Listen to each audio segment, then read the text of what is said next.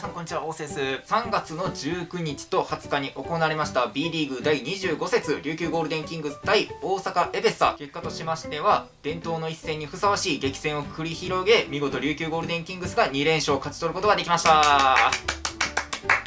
ま実際現地に見に行ったゲーム1も面白かったんですけども、まあ、ゲーム2がより一層激しい応酬になりまして最後岸本選手が見事に勝負を決めて勝ち取った貴重な一勝だと思いました。またこの琉球対大阪の伝統の一戦感想を述べていきたいと思います。もしよろしければ最後までご視聴並びにチャンネル登録よろしくお願いします。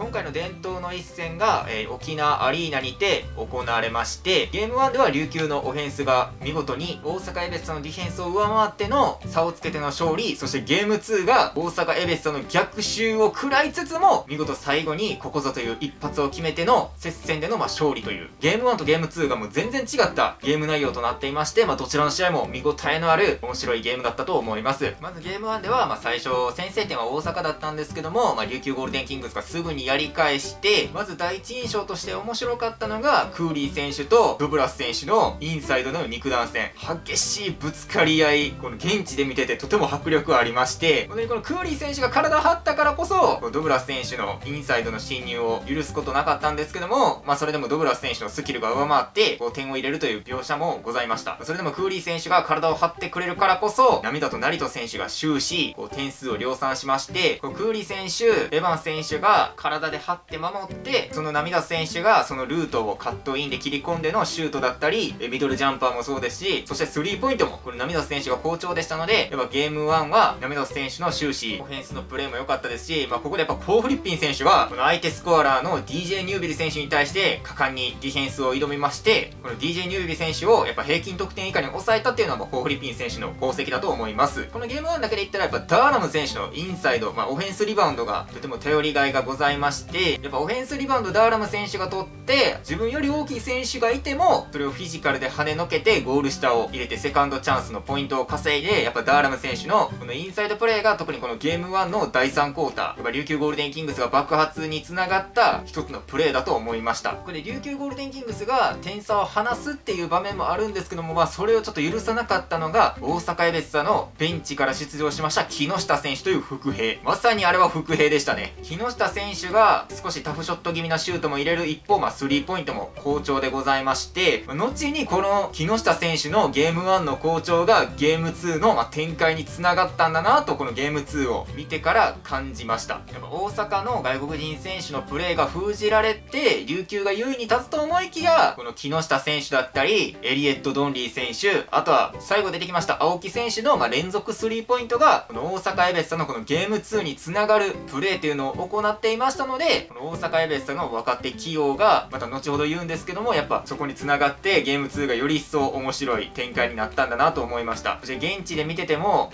日本人選手が食らいつく姿が、まあ、琉球ゴールデンキングスの、ディフェンスをかいくぐってたのはすごいと思いましたし、まあ、それがあったからこそ大阪エベッサが前半のまあ最後のプレーきっちり締めて、琉球ゴールデンキングスがリードを奪ってたんですけども、やっぱ桶谷ヘッドコーチとしては、まあ、最後の締め方にまあ少し納得いかない表情をしてたのかなと、まあ、現地を見てて思いました。このゲーム1のま差をつけて勝利で、やっぱ良かった点で言ったら、やっぱ小野寺選手と三原選手の活躍。今回小寺選手がちょっと早い時間で2ファールしてしまってちょっと出場に制限がかかってしまったのでそこでま日本人ビッグマンである三原選手が出場して相手のビッグマンである竹内選手のこの日本人ビッグマン同士のマッチアップがこの琉球ゴールデンキングス今回珍しいパターンの試合展開となりまして、まあ、三原選手がやっぱ活躍することにより琉球の外国人選手たちのま休憩時間も得ることができますのでこの三原選手の活躍と小野寺選手のハードディフェンス小野寺選手もコー・フリッピン選手に負けないディフェンスを DJ ニュービリ選手に当たってましたのでやっぱこの激しいディフェンスがあるからこそ DJ ニュービリ選手と、まあ、デビッド・ドブラス選手がフラストレーション溜まってましてドブラス選手もファール重なったりあと DJ ニュービリ選手と小野寺選手がダブルファールにもなる珍しい展開もございましたのでやっぱりこの琉球ゴールデンキングスのハードディフェンスが大阪エベスさんにまあファールが積み重なってこの意図しない交代が生まれるので大阪エベスさとしてはま窮屈なバスケを展開せざるを得ない状況になったんで、まあ、3クォーター点数が落ちてしまったのかなとも思ったりしました。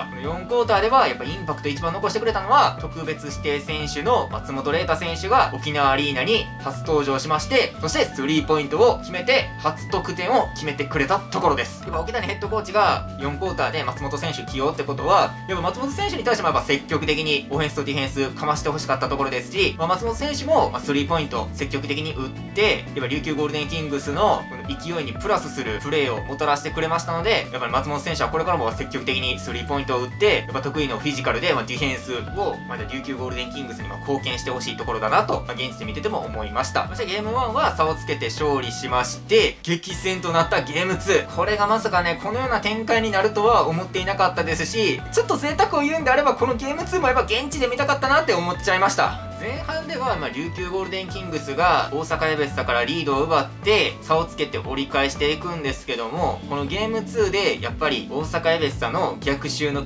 要因となったのが大阪エベッサの若手選手。このドンリー選手の献身的なディフェンスもあって、まあ、結果的にはファールにはなるんですけども琉球のオフェンスチャンスも何回も潰したことにもなりますしあとは琉球が差をつけたいところでやっぱり木下選手を止められなかったっていうのがこのゲーム2の逆襲の伏線になっていたと思いました。このゲーム1とゲーム2の前半では琉球ゴールデンキングスがインサイドでの通面ゲームを展開してこの通面ゲームを大阪エベッサが止めることできなかったんでやっぱり琉球ゴールデンキングスとしてはインサイドのポイントを上げていたんですけどもゲーム1で琉球が大阪に劣っていたのが、まあ、スリーポイントの成功の数であります。大阪が琉球より上回ったスリーポイントの成功の数の流れがゲーム2にもきっちり引き継がれていて青木選手のスリーポイント木下選手のスリーポイントそして恐れていた DJ ニュービリ選手の速い展開からの、まあ、スリーポイントがいや琉球としてはま逆襲を食らうのろしになってしまいました。ターンオーバーからアイラ・ブラウン選手の、まあ、ダンクも決められてしまってやっぱ大阪エベッサとしてはこれ以上ない盛り上がりを見せたんで前半のやられた分を一気にこの4クォーターでぶつけられてしまって琉球としてはま窮地に陥ったと思いました。大阪エベッサがこのファールで外国人選手が4ファールになっていたんですけどもその逆境をものともしないプレーをこの第4クォーターで見せてくれまして逆に琉球ゴールデンキングスのウィング陣がちょっとファールドローンを食らってしまいましてちょっとピンチにはなったんですけどもこの4クォーターのピンチの時に救ったのがやっぱ岸本選手のスリーポイント。この600本達成したスリーポイントで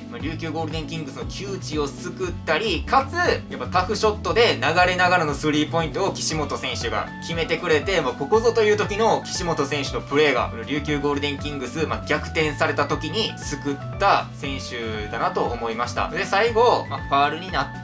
その確認中であっても、まあ、岸本選手の顔つき、まあ、集中力がもう画面越しからでも分かるもう顔つきでございまして、まあ、彼が仮にアンスポだろうがパーソナルファールだろうが岸本選手のフリースローの結果はま変わらなかったと思います。やこのスリーポイントの差で大阪エベッサがこの逆襲していって、まあ、琉球ゴールデンキングスがターンオーバーちょいちょい重なってしまって、まあ、琉球らしいプレーがちょっとずつ失われていったんですけどもこの最後の勝敗がどうなるかわからないシーソーゲームの時に岸本選手が一番存在感出してくれた結果このゲーム2は本当に接戦の末勝ち得た貴重な1勝だと思いました。岸本選手がこのピンチに自ら花を添える形で600本のスリーポイント成功並びに逆転シュートも決めたて本当に岸本選手がもう自らここぞという時に引っ張ってくれたおかげでやっぱ琉球ゴールデンキングスがま強さを保つことできましたしこの伝統の一戦という重要な試合で見事2連勝を勝ち取って、まあ、今シーズンは大阪エベッサとの対決で勝ち越すこととなりました。このホームで三河大阪という、まあ、オフェンス力が強いチームと戦ったんですけども今回琉球ゴールデンキングスの守備が上回りそしてここぞという時の、まあ、岸本選手のプレーで見事勝ち得た、まあ、貴重なホーム3連戦になったと思います。次回がこのアウェー連戦が続きまして京都信州と戦うことになります。中2日空けて間もないですがこの前回2勝2敗のイーブンの状態で終わりました。難敵京都と戦いますので、まあ、この試合も注目していきたいと思います。本日の動画は以上となります。ありがとうございました。もしよろしければチャンネル登録高評価よろしくお願いします。